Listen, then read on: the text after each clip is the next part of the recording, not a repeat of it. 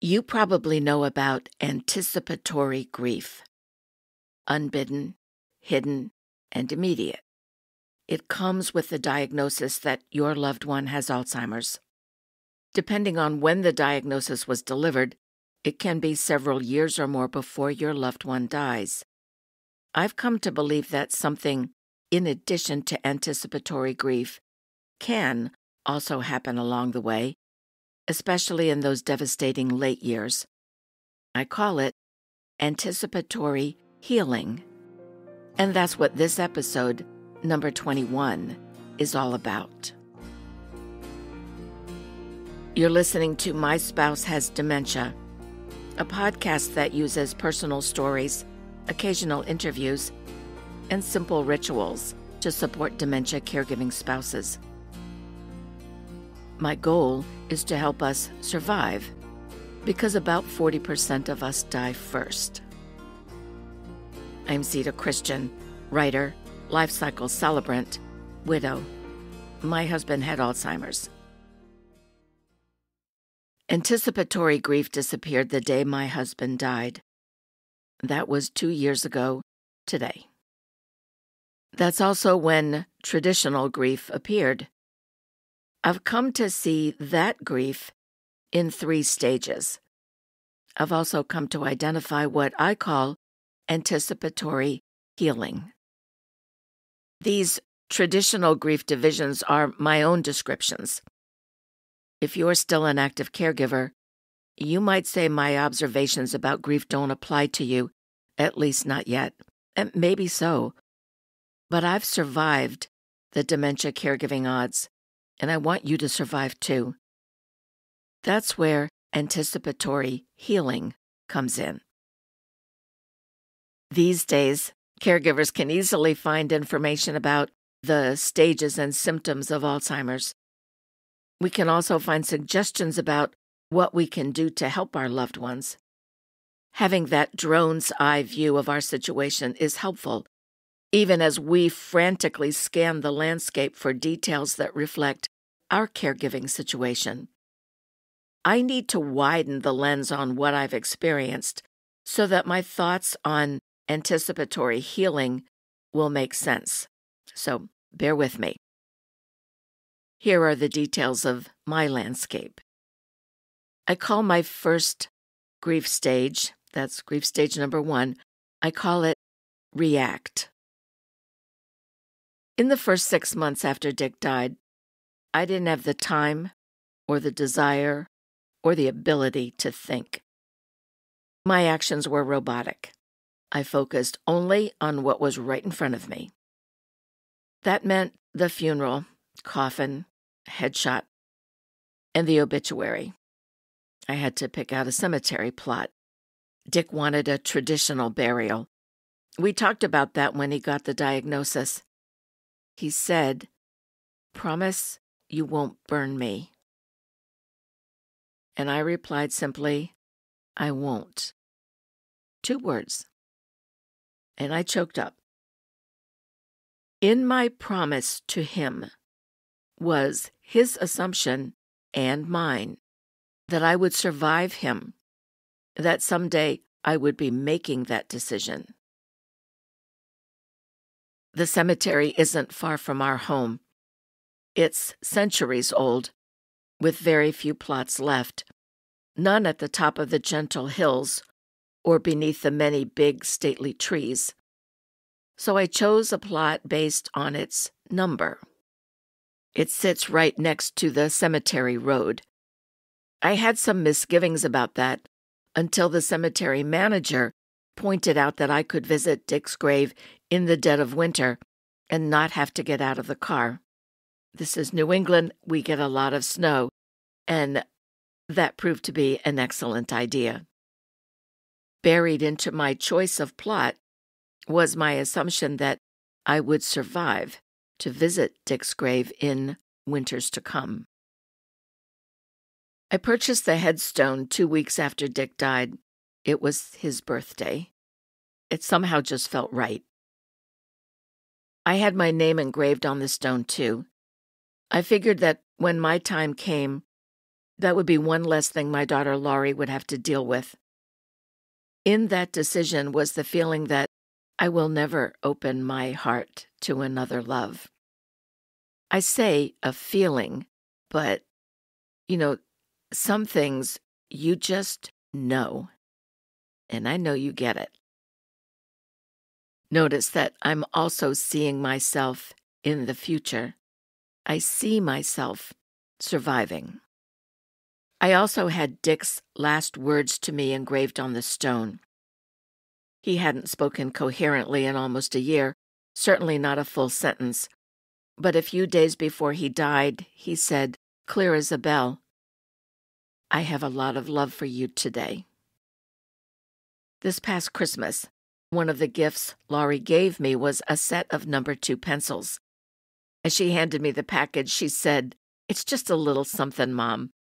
She'd have the pencils printed with Dick's last words. Far more than a little something.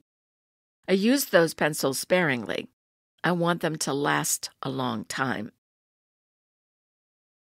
And for sure, there were more zombie like tasks in those first six months.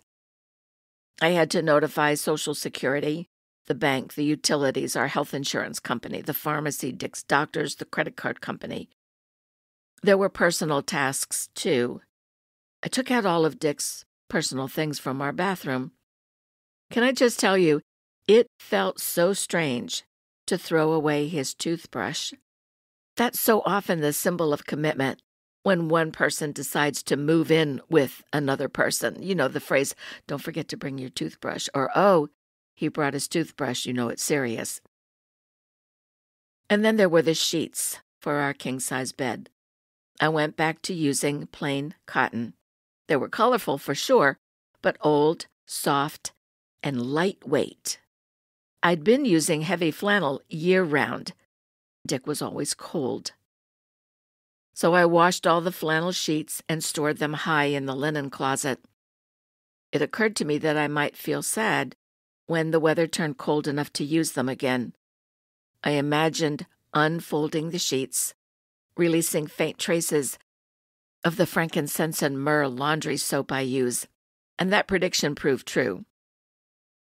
Simple things triggered tears. They still do. I remember looking for something in the food pantry and seeing oatmeal and Cheerios, Dick's favorites. I remember buying the heart shaped Cheerios, thinking that maybe Dick would remember, you know, who we were. And then there was a television streaming service. I turned it on and saw the familiar screen that asked, Who's watching? The options were Nana, that's me, or Pepe. That's what our grandson called Dick. I see Pepe. And I remember how we loved to watch UConn women's basketball. Three, maybe four years before Dick died, I found several Appalachian Trail hikers who were filming their trail experience and posting the videos on YouTube. Dick and I followed several hikers for months. He seemed to enjoy it until one day he said abruptly and firmly, I don't want to see that. I turned off the television. In those first six months, I also had to find an estate planning attorney and get the probate process started. I'd been a legal secretary for 17 years, but not in the field of trusts and estates.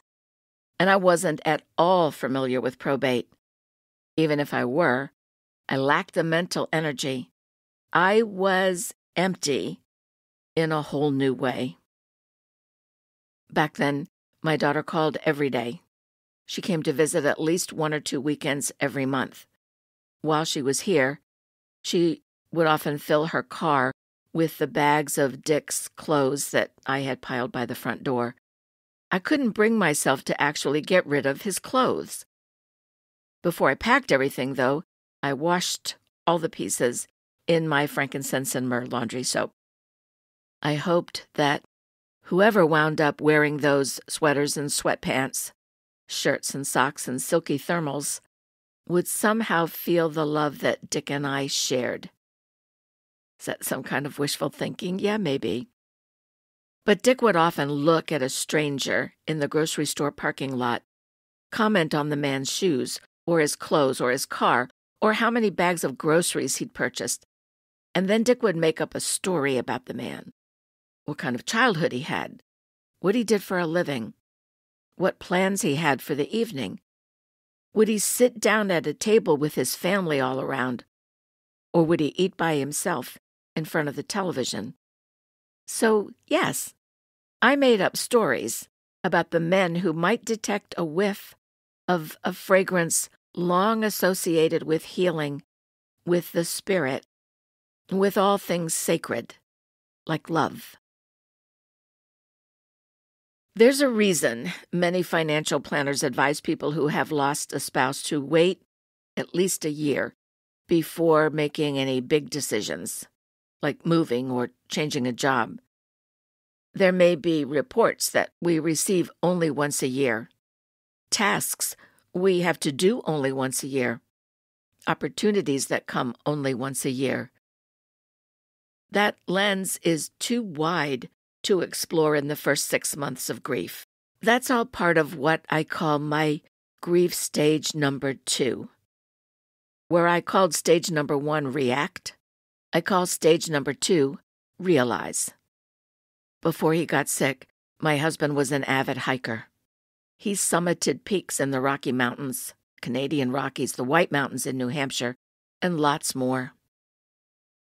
In 1999, he through hiked the Appalachian Trail, 1,260 miles from Georgia to Maine. It took him six months. My grandson Logan is an Eagle Scout. He took Dick's hiking poles and the backpack with all the patches I had sewn on.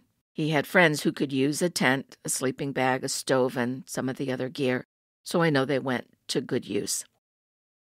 Laurie took the snowshoes if you've never seen them, they look like giant tennis rackets that attach to your boots. One December, Dick had used them to stamp out Merry Xmas in the snow that covered the meadow behind our home. I hung out an upstairs window so that I could see the big picture and direct his steps. I took pictures and to this day marvel at the balanced formation of his letters. I kept Dick's hiking boots. I don't know why, except that they trigger so many good memories. On September 27th of 1999, I got up really early and drove seven hours to Baxter State Park in Maine. I knew Dick would complete the trail that day. The defining experience of his life would be over. We stayed at a bed and breakfast that night and drove back to Connecticut in the morning. That evening, when we pulled into the driveway, we saw this great big piece of white poster board nailed to the space between our garage and that of our neighbors, Roger and Terry. In big green letters, the sign said, Welcome home, Dick, from hiking the Appalachian Trail. You see, Roger had taped a map of the Appalachian Trail to a wall in their dining room. He used thumbtacks to mark Dick's progress, something he knew because I had been keeping an online journal on a website called dicktakesahike.com. My friend Mike Southern had built that website. Website technology was so new back then. People who knew about websites had suggested that I put one up to track Dick's progress. But at, at the time, I didn't know how to send an email to more than one person at a time, much less build a website. I will be forever grateful to Mike.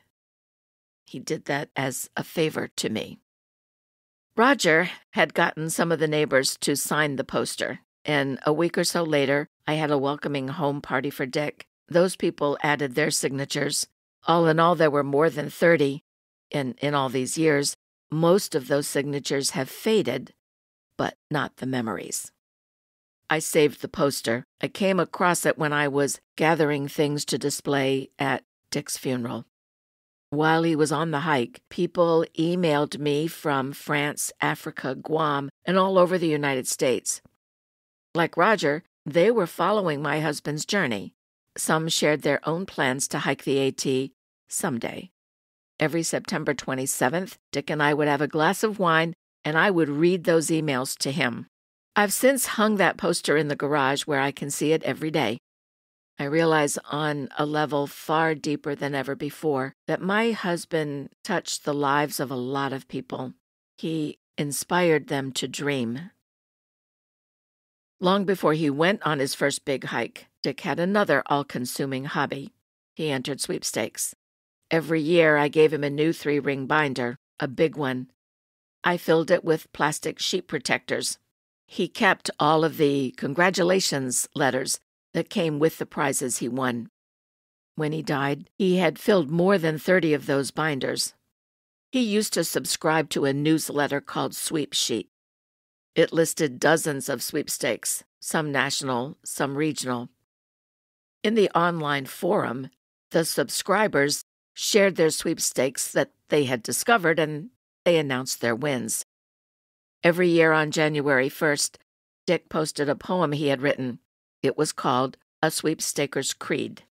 I think of it as his ode to optimism.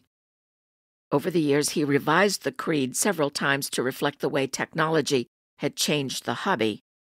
I typed the poem for him, always updating to reflect the current year.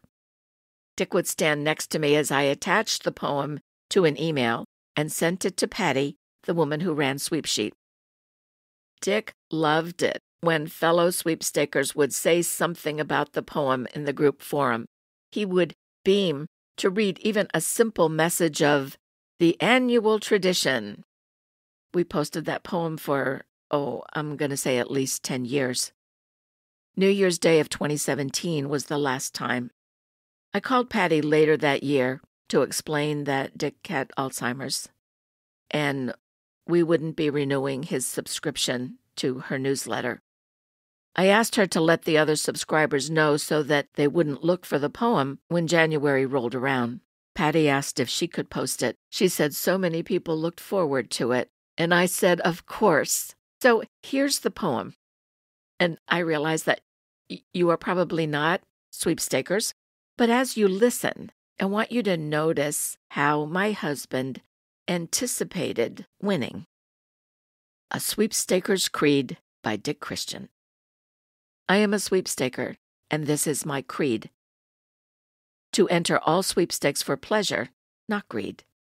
To faithfully follow all of the rules, using paper, pen, and computer as my primary tools. I firmly resolve that I will try the sponsor's fine products when I buy, to send them a letter with my thanks soon after depositing their checks in my banks. I'll be supportive of my peers when they win, you'll hear my cheers. I'll never quit. I'll always keep trying. My favorite newsletters I'll keep right on buying. I'll enter daily until I win, and then I'll enter again and again. I am a sweepstaker. You now know my creed hard work and some luck. That's all that you need. Happy New Year. January 1st, 2017. Optimism is a trait that Dick and I shared. I'm not talking about pie in the sky armchair dreaming. I'm talking about having hope when all seems lost. I'm certain that's one of the reasons we were attracted to each other. See, when I was 15, my mother died. I had two younger sisters, Laurie 12, Eileen 10. Our dad was in the Navy and had been gone for most of the previous two years. We weren't very close to him. When I learned through a neighbor who had reason to know that we might be split up and sent to foster homes, I told my sisters that if we obeyed all the rules our military dad laid down, if we got good grades in school, if we pretended to be happy, we'd have a chance of staying together. As a child, I saw hope in conforming. Dick didn't have an easy childhood either. One of six children, he and his little brother Albie slept on a pallet of blankets on the second floor of a house that was all but falling down all around them. Friday nights meant listening as their parents would get drunk, scream obscenities at each other, physically fight, throw things across the kitchen. Albie, who was about six, would cry. Dick would put his arm around Albie's shoulder, tell him to go to sleep, that the fighting wouldn't last forever, that their parents would sleep it off, and that everything would be okay in the morning. As a child, Dick found hope in pretending. Whether through conforming or pretending, we both imagined that our lives would somehow get better. Of course, painful things still happened. That's life. At the end of the first six months after Dick died, a woman from hospice called me. Hospice offered an eight week bereavement program. She thought I might find it helpful. The only reason I agreed to go was to gather information for my dementia support group. I had taken over the group when the organizers had to discontinue it. It didn't take long for me to realize that, had I not stayed involved with the support group, pride might have kept me from joining the bereavement group. And that would have been a big mistake. In that bereavement group, I saw my own pain reflected in the eyes of other women who had lost a spouse, or a parent, or a sibling, or a best friend. Whenever one of us dissolved into tears, the others silently held space for us to simply feel. We all knew how ineffective words are at such a time.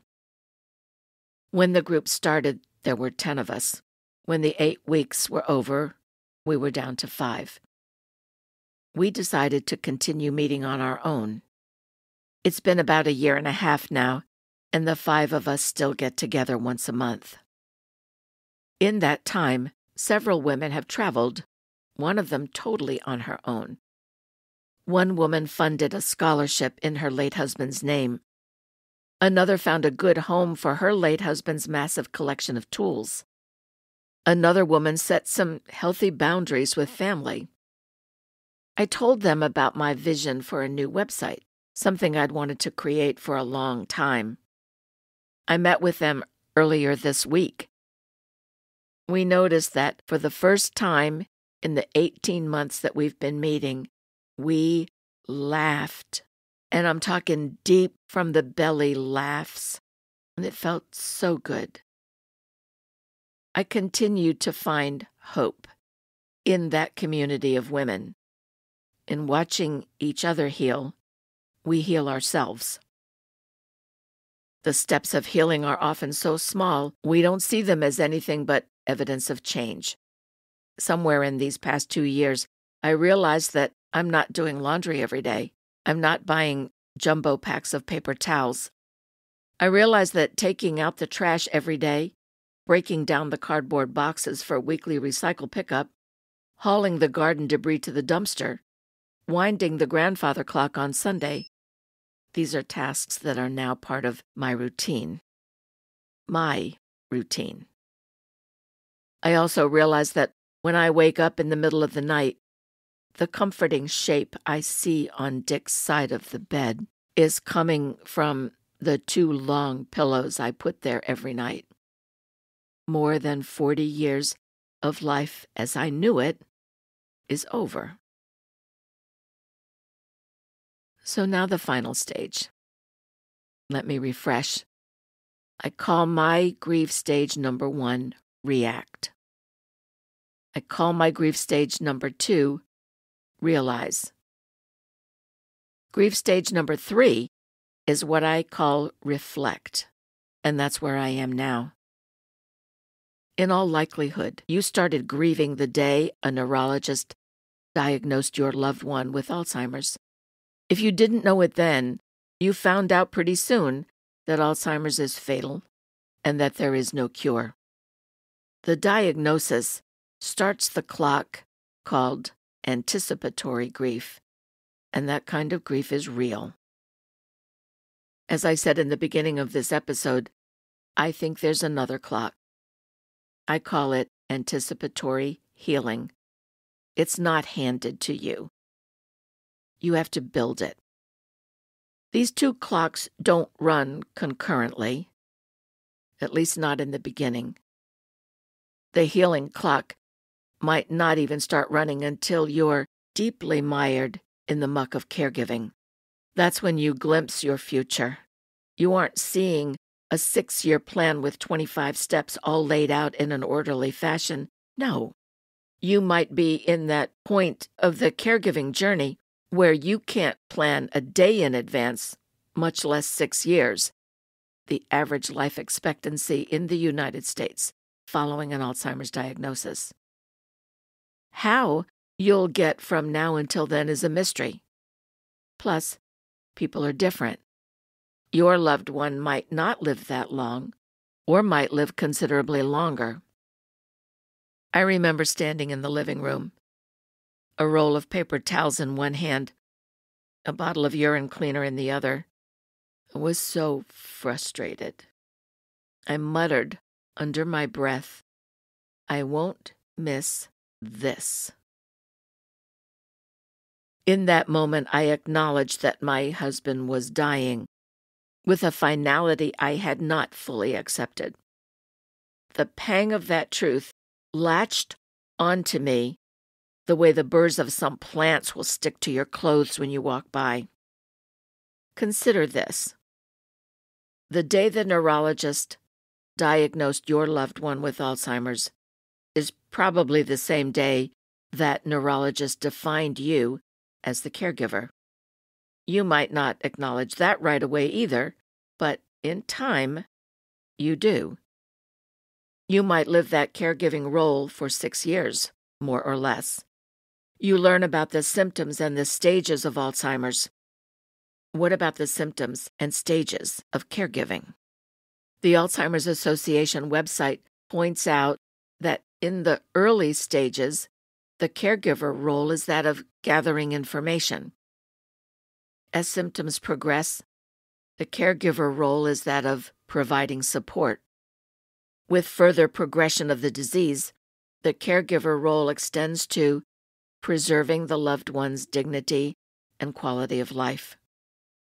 Because people are different, and not every Alzheimer's patient experiences all of the same symptoms, the caregiver's tasks will vary accordingly.